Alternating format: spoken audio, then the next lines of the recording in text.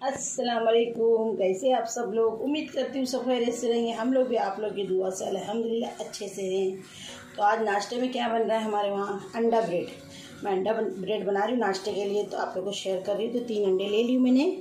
और ये मसाला है उसमें आधा कांदा है एकदम बारी बारी चॉप करा हुआ है कोतमीर है थोड़ा सा पाव स्पून अदरक लहसन है चिल्ली फ्लेक्स पाव स्पून काली मिर्ची पाव स्पून नमक अपने हिसाब से दो हरी मिर्ची एक टमाटर।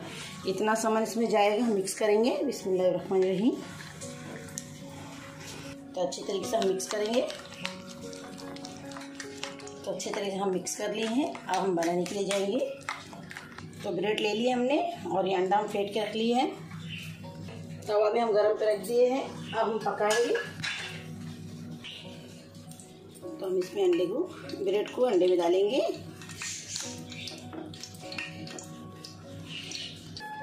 तो इस तरीके से हम बिस्मिल्लाहिर्रहमानिर्रहीम ये ऊपर से थोड़ा सा हम कांदा उधर तो लगा दिए हैं, यहाँ पे ऊपर से लगा देंगे हम। अभी हम पलटी करेंगे।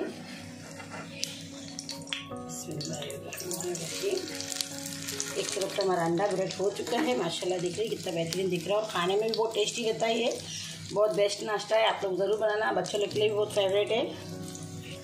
तो एक साइड में कर लिए हम, अब दूसरा हम डालेंगे वही तेल में।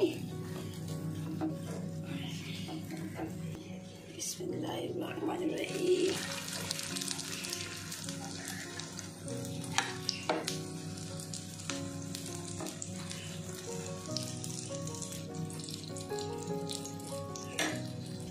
तब इसको भी हम पलटी करेंगे।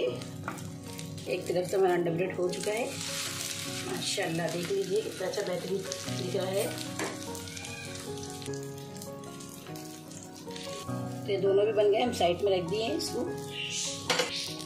तो पहले के दो निकाल ली, पहले के दो निकाल ली हूँ और ये जो हैडी बनाए उसको साइड कर दिए। अभी हम पूरा बना के आप लोग को सर्व करेंगे। तो आज की रेसिपी हो गई तैयार, अंडा। ब्रेड। आइए आप लोग भी नाश्ता करने हमारे साथ। तो आप लोगों को मेरी रेसिपी पसंद लगी तो आप लोग लाइक और शेयर ज़रूर करना और दुआ में याद रखो, इंशाल्लाह मैं भी आप लोगों को दुआ में याद रखूँगी। अल्लाह हाफिज़।